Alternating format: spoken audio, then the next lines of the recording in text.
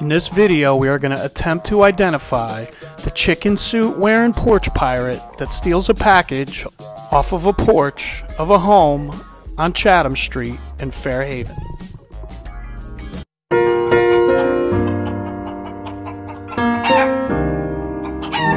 I thought I saw it all, and then I seen a chicken riding a bicycle.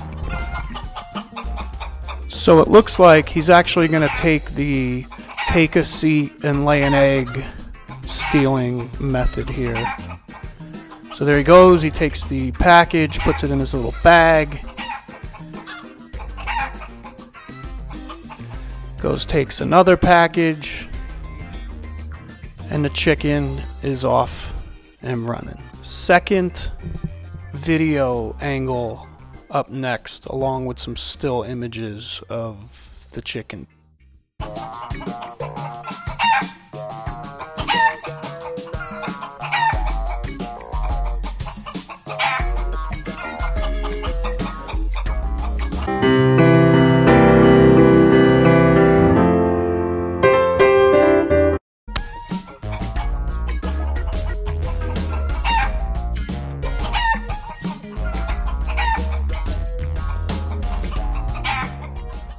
Alright, so this is a different angle. He's going to pop a squat there and uh, drop an egg or two before he quickly steals this package.